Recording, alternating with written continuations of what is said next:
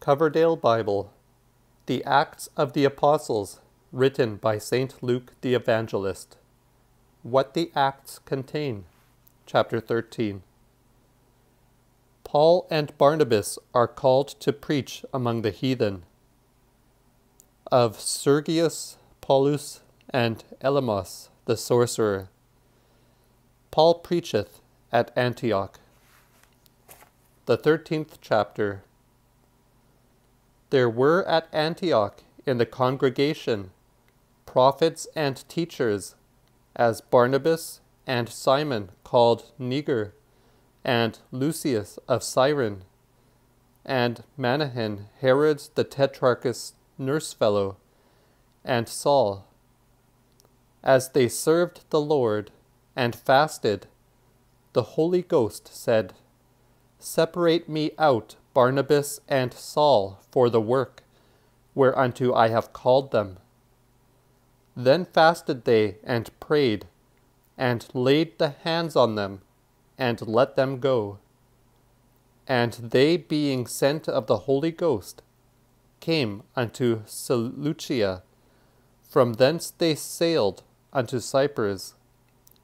And when they were come in to the city Solomon, they showed the word of God in the synagogues of the Jews, and they had John to their minister.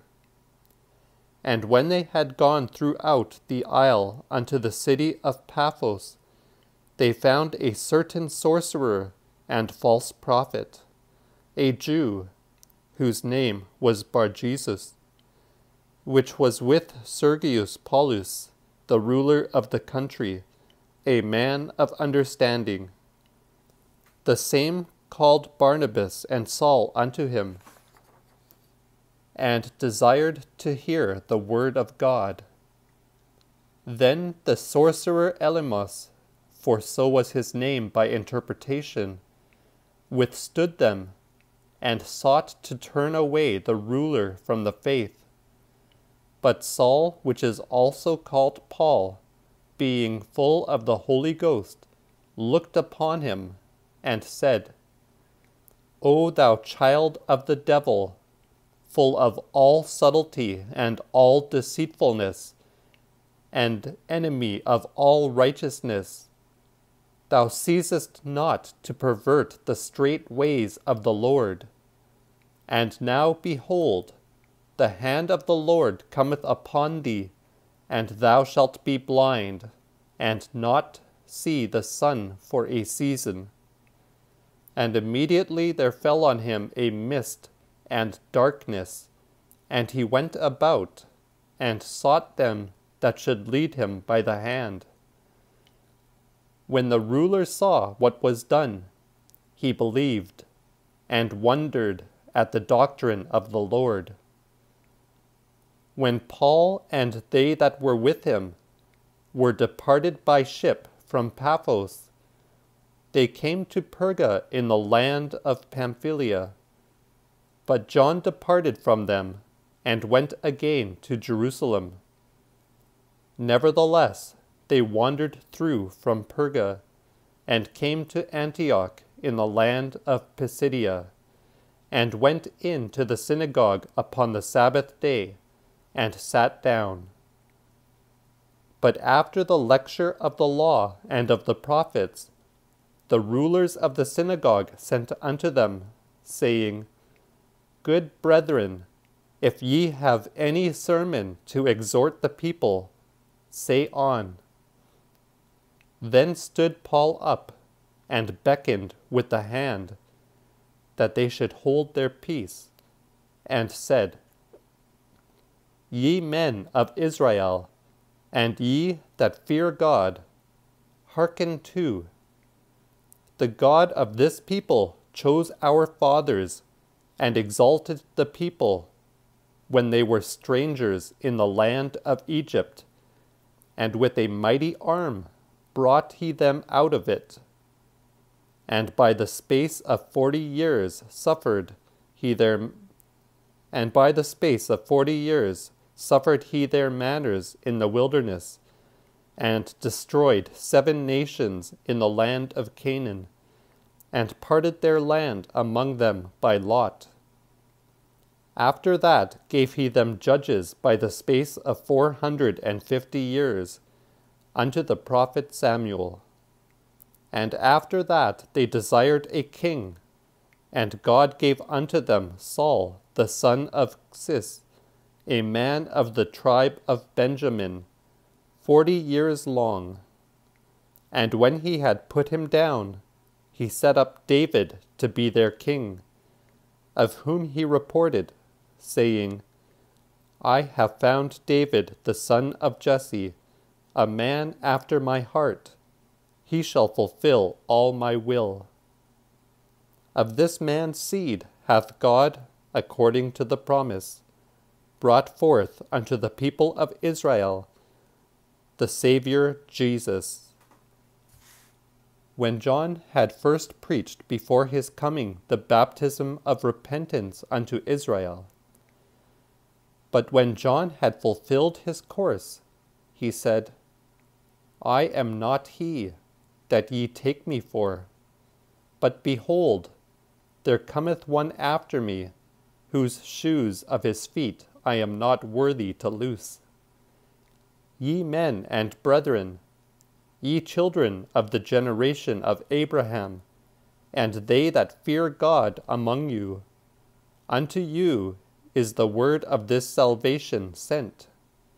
For the inhabitants of Jerusalem and their rulers, for so much as they knew him not, nor yet the voices of the prophets, which are read every Sabbath, have fulfilled them in condemning him and though they found no cause of death in him, yet desired they Pilate to kill him.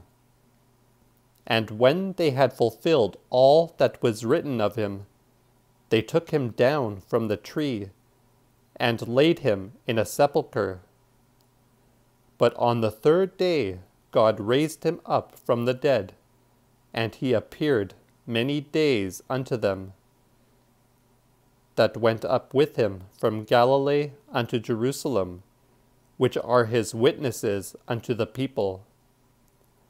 And we also declare unto you the promise which was made unto our fathers, how that God hath fulfilled the same unto us, their children, in that he raised up Jesus again.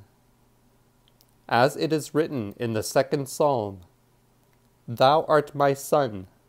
This day have I begotten thee. But that he hath raised him up from the dead, now no more to return to corruption.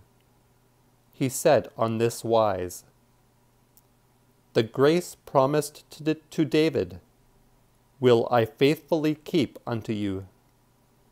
Therefore saith he also in another place, Thou shalt not suffer thy holy to see corruption.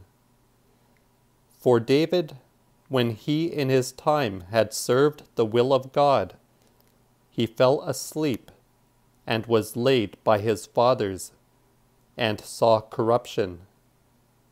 But he whom God raised up again saw no corruption.